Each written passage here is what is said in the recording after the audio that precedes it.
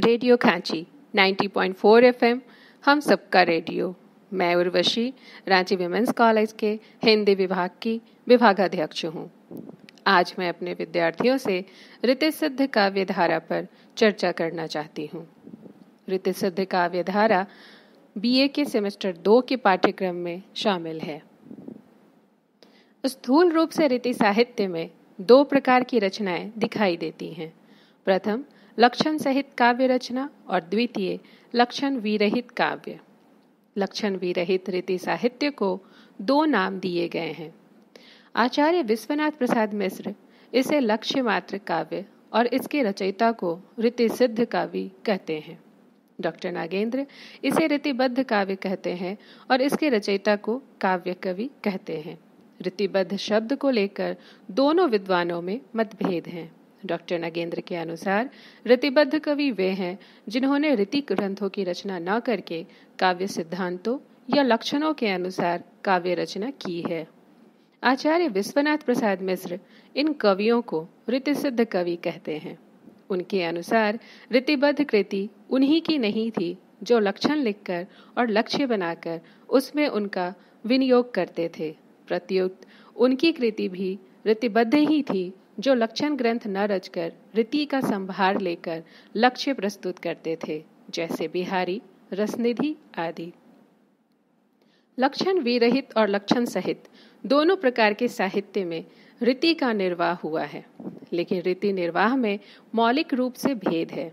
उसी के आधार पर आचार्य मिश्र ने इन कवियों को रीति सिद्ध कहा है। उनके विचारानुसार, ऐसे कवि लक्षण ग्रंथ लिखने वाले रीतिबद्ध कवियों की भांति रीति की शास्त्र कथित बातों का पूरा पालन नहीं करते थे। शास्त्र स्थिति संपादन मात्र इनका लक्ष्य नहीं था। कहीं तो चमत्कार के लिए ये उक्तियाँ बांधते थे और कहीं रसाभिव्यक्ति के लिए रीति शास्त्रों में गिनाई हुई सामग्री का त्याग करके अपने अनुभव और निरीक्षण से प्राप्त सामग्री में नूतनता का सन्निवेश करते थे। डॉक्टर नागेंद्र ने जिन्हें रीतिबद्ध कवि कहा है, वे रीति से इतने आबद्ध नहीं हैं कि उन्हें रीतिबद्ध कहा जाए। आचार्य मिश्र जी का दिया नाम इन कवियों के लिए अधिक संगत है, क्योंकि इन कवियों ने रीति का अनुकरण नहीं किया है। अपनी प्रतिभा को निखारने के लिए उसका प्रयोग किया है। इसलिए इनके साहित्य को रीति साहित्य कहा जा सकता है। ऋतिसिद्ध काव्य धारा के प्रमुख कवि हैं बिहारी लाल ऋतिकाल के सर्वश्रेष्ठ कवि बिहारी का जन्म पंद्रह ईस्वी में ग्वालियर में हुआ था। उनके एकमात्र काव्य ग्रंथ का नाम बिहारी सत्सई है, जिसकी रचना सोलह ईस्वी में संपन्न हुई। बिहारी ऋतिकाल के ऋतिसिद्ध कवि माने जाते हैं। उन्होंने कोई लक्षण ग्रंथ नहीं लिखा। तथापि उन्हें रीति शास्त्र की भरपूर जानकारी थी, जिसका उपयोग उन्होंने सत्सई में किया है।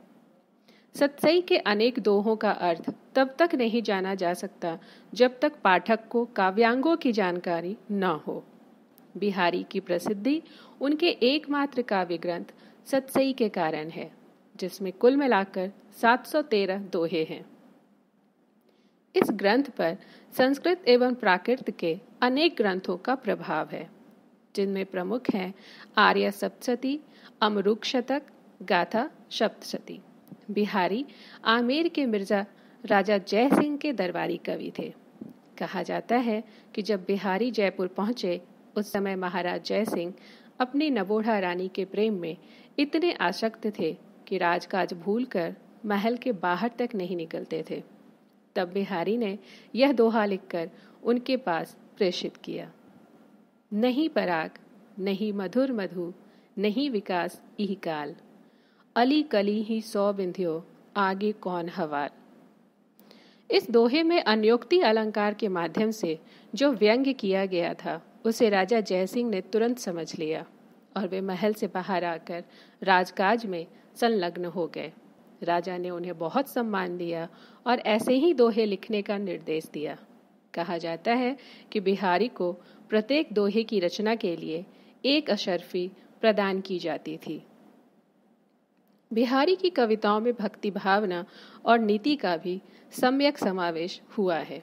उनके नीति संबंधी दोहे अत्यंत प्रसिद्ध हैं, जैसे, तंत्रीनाद कवित्रस सरस राग रतिरंग, अन बूढ़े बूढ़े तिरे, जे बूढ़े सब अंग, और नर की अरु, नल नीर गति एक करी जोए। जे तो नीचो हुए चले ते तो ऊंचो हुए। अर्थात मनुष्य जितना विनम्र होता है, उतना ही ऊँचा उठता है। तथा कुछ विषय ऐसे हैं, जिनमें व्यक्ति को अधूरे मन से नहीं, अपितु पूर्ण मन से ही उतरना चाहिए। बिहारी की भक्ति भावना में भी उक्ति वैचित्र एवं अलंकारिकता का समावेश है।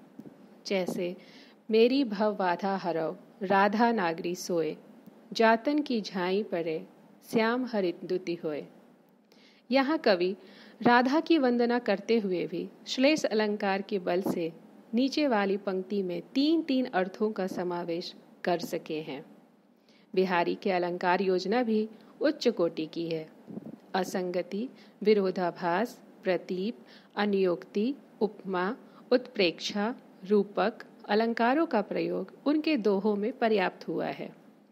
असंगति अलंकार का एक उदाहरण है, दृग उर्जत टूटत कुटुम जुरत चतुर चित प्रीति, परती गांठी दुर्जन हिये, दई नई यह रीति।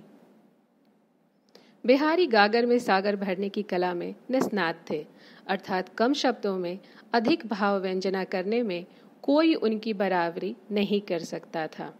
बिहारी के विरह वर्णन में शारीरिक क्रिस्ता एवं विरह ताप का अतिशयोक्तिपूर्ण वर्णन हुआ है। आचार्य शुक्ल के अनुसार यह विरह विरह वर्णन कहीं कहीं मज़ाक की हद तक पहुँच गया है। विरह विकल नायिका की व्याकुलता को दिखाने के लिए उन्होंने कई बार अतिशयोक्ति का सहारा लिया है। बिहारी मूलतः श्रृंगार रस की कवि हैं जो मुक्तक शैली में तथा दोहा छंद में रचनाएँ करते हैं। बीच बीच में सोरठा का प्रयोग भी कवि ने किया है। बिहारी सत्सई की अनेक टीकाएँ लिखी गईं जिनमें से कुछ प्रसिद्ध टीकाएँ इस प्रकार हैं। कृष्ण कवि की टीका जिसमें प्रत्येक दोहे पर कवित लिखा गया है। हरि प्रकाश टीका लल्लू लाल की चंद, लाल चंद्रिका टीका सरदार कवि की टीका सुरती मिश्र की टीका। बिहारी सत्सई का संपादन ब्रजभाषा काव्य के मर्मज्ञ बाबू जगन्नाथ दास रत्नाकर ने बिहारी रत्नाकर नाम से किया है। मुक्तक रचना के सभी गुण बिहारी सत्सई में मिलते हैं। आचार्य रामचंद्र शुक्ल के अनुसार मुक्तक में प्रबंध के समान रस की धारा नहीं रहती। अपितु इसमें तो रस के ऐसे छींटे पड़ते हैं कि हृदय कलिका थोड़ी देर के लिए खिल उठती है। यदि प्रबंध काव्य एक विस्तृत वनस्थली है तो मुक्तक एक चुना हुआ गुलदस्ता। बिहारी सतसई के दोहों की प्रशंसा करते हुए किसी आलोचक ने कहा है, सत्सैया के दोहरे, ज्यो नावक के तीर, देखन में छोटे लगे, घाव करे गंभीर। बिहारी में कल्पना की अद्भुत शक्ति थी, साथ ही वे कम शब्दों में अधिक भाव व्यक्त करने की कला भी जानते थे। इसलिए बिहारी सत्सई मुक्तक कला की दृष्टि से उच्च कोटि का काव्य बन गया है। आचार्य रामचंद्र शुक्ल के अनुसार जिस कवि में कल्पना की समाहार शक्ति के साथ भाषा की समाज शक्ति जितनी ही अधिक होगी, उतना ही वह मुक्तक रचना में सफल होगा। यह क्षमता बिहारी में पूर्ण रूप से विद्यमान थी। बिहारी मूलतः श्रृंगार के कवि हैं। हाव और अनुभावों की जैसी योजना बिहारी सत्सई में उपलब्ध होती है, वैसी किसी अन्य काव्य ग्रंथ में नहीं मिलती। बिहारी की कविता में उच्च कोटि का शब्द शिल्प एवं शब्द चयन विद्यमान है। ब्रज भाषा पर उनका असाधारण अधिकार था तथा वे बहुज्ञ थे। उन्हें आयुर्वेद, ज्योतिष, गणित, इतिहास, पुराण आदि की भी जानकारी थी। बिहारी निश्चय ही रीतिकाल के सर्वश्रेष्ठ एवं प्रतिनिधि कवि हैं। भाव पक्ष एवं कला पक्ष दोनों ही दृष्टियों से बिहारी सत्सई रीतिकाल की प्रतिनिधि रचना कही जा सकती है। रीति सिद्ध काव्य धारा के दूसरे प्रमुख कवि हैं रसनिधि। रसनिधि दतिया राजा के बरौनी इलाके के एक संपन्न जमींदार थे। इनका वास्तविक नाम पृथ्वी सिंह था और रसनिधि नाम से ये काव्य रचते थे। रसनिधि की रतन हजारा, विष्णु पद कीर्तन, कवित, बारहमासी, रसनिधि सागर, हिंडोला, अरिल आदि रचनाएँ प्राप्त हुई हैं। इन सभी रचनाओं में उनकी रतन हजारा सर्वाधिक प्रख्यात रचना है। यह रचना बिहारी के अनुकरण पर लिखे दोहों का संग्रह है। रसनिधि रसिक कवि थे। श्रृंगार वर्णन उनके काव्य में अत्यधिक मात्रा में दिखाई देता है। इसलिए इस धारा के अन्य कवियों से उनका काव्य कुछ अलग सा दिखाई पड़ता है। प्रेम की सरस उक्तियों में रसनिधि को अच्छी सफलता मिली है, क्योंकि श्रृंगारी कवि को जिस मस्ती और मन की तरंग की आवश्यकता होती है, वह रसनिधि में प्रचुर मात्रा में थी। रतन हजारा के वर्ण विषय और अभिव्यंजना शैली पर विहारी की श्रृंगार भावना का गहरा प्रभाव परिलक्षित होता है। रीति सिद्ध काव्यधारा के तीसरे प्रमुख कवि हैं नृप शंभु नृप शंभु शंभु महाराज, शंभु उपनाम से रचना करने वाले इस मराठी भाषी हिंदी कवि के संबंध में हिंदी साहित्य के विभिन्न इतिहासों में मतभेद पाया जाता है। बृहत इतिहास में इन्हें सितारागढ़ वाले राजा शंभुनाथ सिंह सोलंकी कहा गया है। वस्तुतः ये कवि कोई और नहीं, छत्रपति शिवाजी महाराज के सुपुत्र संभाजी अर्थात नृप शंभु हैं।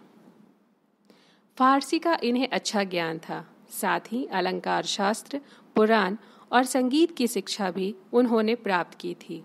मराठी भाषी क्षेत्र में भले ही आज की भाषा में अहिंदी क्षेत्र हो किंतु इतिहास साक्षी है कि आदिकाल से इस क्षेत्र का लगभग हर महान कवि मराठी के साथ साथ हिंदी में भी रचना करता आया है। जहाँ तक शंभुराज के ब्रज भाषा के अध्ययन का प्रश्न है, कहा जाता है कि जब शिवाजी को छल कपट से औरंगज़ेब ने आगरा में कैद कर लिया था, उस समय शंभुराज भी उनके साथ थे। जब शिवाजी बड़ी कुशलता से उस कैद से छूटे थे तो रास्ते में शंभुराज को मथुरा में ब्राह्मण पुत्र के वेश में केशव पंत के पास छोड़ आए थे। संभवतः यहाँ ही शंभुराज ने ब्रज भाषा का अध्ययन किया। देश प्रेम काव्य प्रेम और रसिकता नृपशंभु के व्यक्तित्व के अभिन्न पहलू हैं। उनके प्रेमी व्यक्तित्व की अनेक कथाएँ मराठी भाषी क्षेत्र में प्रचलित हैं। शंभुराज ने बुद्ध भूषण नामक संस्कृत ग्रंथ की रचना की थी। अब तक उनकी हिंदी भाषा की तीन रचनाएँ प्राप्त हुई हैं। नायिका भेद, नक्षिक और सप्तशतक। रीतिसिद्ध काव्यधारा के चौथे कवि नेवाज हैं। हिंदी साहित्य के इतिहास ग्रंथों में नेवाज नाम के तीन कवियों का नाम मिलता है। यह नेवाज अंतर्वेद के रहने वाले ब्राह्मण थे, जिनका जन्म समय सन 1680 के आसपास है। मिश्र बंधुओं के अनुसार ये भागवत कवि के एक दोहे में उल्लिखित होते हैं। भली आनु कली करत हो छत्रसाल महाराज, जह क भगवत गीता पढ़ी तह कवि पढ़त निवाज। इस दोहे के आधार पर यह माना जाता है कि कवि भगवत के पश्चात निवाज महाराज छत्रसाल के दरबार में नियुक्त किए गए थे। आचार्य शुक्ल ने निवाज का औरंगज़ेब के पुत्र आज़म शाह के यहाँ रहने का संकेत भी किया है। डॉक्टर किशोरी लाल गुप्त ने शुक्ल जी के मत को पूर्णतः भ्रामक मानकर उन्हें मुसल्ले खान का दरबारी कवि माना है। निवाजकृत शकुंतला नाटक वस्तुतः नाटक न होकर दोहा, चौपाई, सवैया आदि छंदों में लिखा पदबद्ध आख्यान है। इसके अतिरिक्त निवाज के कुछ स्फुट छंद भी प्राप्त हुए हैं। जिनका प्रधान स्वर श्रृंगार है। इससे अनुमान किया जाता है कि इन्होंने श्रृंगार का व्यापक वर्णन करने वाला कोई ग्रंथ लिखा होगा, परंतु अब वह नहीं मिलता। आचार्य शुक्ल लिखते हैं, इनकी भाषा बहुत परिमार्जित, व्यवस्थित और भावोपयुक्त है। उसमें भारती के शब्द और वाक्य बहुत कम मिलते हैं। इनके अच्छे श्रृंगारी वर्णन की प्रवृत्ति इनकी विशेषता जान पड़ती है। जिसमें कहीं कहीं ये अश्लीलता की सीमा के भीतर जा पड़ते हैं। ऋतसिद्ध काव्यधारा के अगले कवि हैं हठी जी। ये राधा बल्लभ संप्रदाय के कृष्ण भक्त कवि थे। इस संप्रदाय के ग्रंथों में इनका जन्म स्थान चरखारी माना जाता है। यद्यपि ये भक्त कवि थे, लेकिन इनका लिखा एकमात्र उपलब्ध ग्रंथ श्री राधा सुधा शतक रीति से प्रभावित है। इसका रचनाकाल आचार्य रामचंद्र शुक्ल ने 1780 ईस्वी माना है, जो इस रचना में उल्लिखित है। डॉक्टर विजेंद्र स्नातक लिखते हैं कि इनकी अप्रस्तुत योजना, वचन वक्रता, लाक्षणिकता आदि सभी गुण रीतिकालीन चोटी के कवियों से टक्कर लेते हैं। अलंकार की ऐसी सजीव और सुंदर योजना इन्होंने की है कि श्रोता अर्थ गौरव की अपेक्षा कहीं कहीं शब्द गौरव पर ही अधिक मुग्ध हो जाता है। किंतु शब्द सौष्ठव के फेर में पढ़कर अनुप्रास आदि के शैथिल्य को इन्होंने अंगीकार नहीं किया।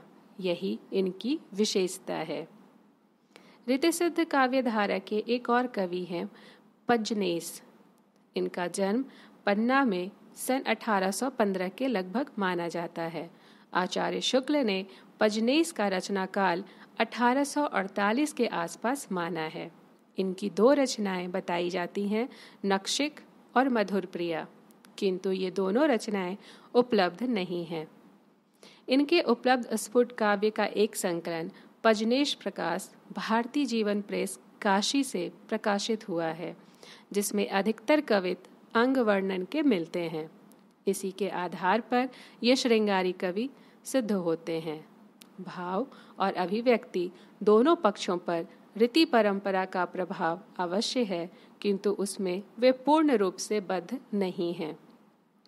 श्रृंगार रस के लिए इनकी भाव योजना तो परंपरा मुक्त ही है, लेकिन भाषा में नवीनता है।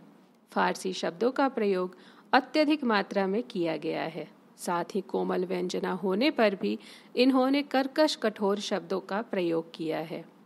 इतना होने पर भी पद विन्यास का कौशल इनकी कविता में है, जिसके कारण इनके कवित सवैयों को पढ़ते समय लय स्वर के आनंद में कोई व्याघात नहीं पहुँचता।